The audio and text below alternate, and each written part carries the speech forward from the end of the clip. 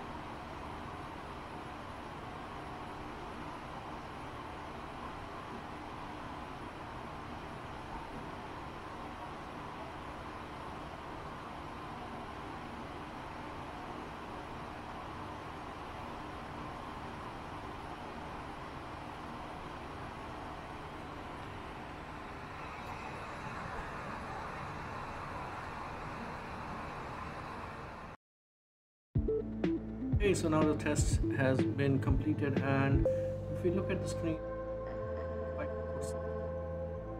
Spy, uh, I have to tell you that formatted the system and deleted the uh, pre-built Windows setup that was there and I installed fresh Windows and I just installed TimeSpy on it. All the drivers etc got installed automatically once I installed the fresh uh, Windows 10 OS and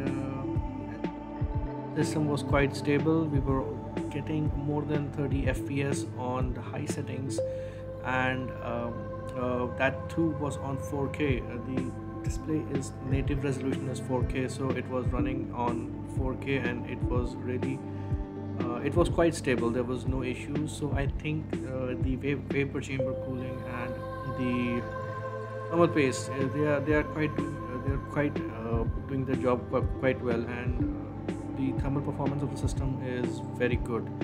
It can actually be used for gaming uh, maybe not on very high presets but uh, from medium to high preset and a little maybe not exactly at 4k but maybe you can play at 1440p and it should work fine.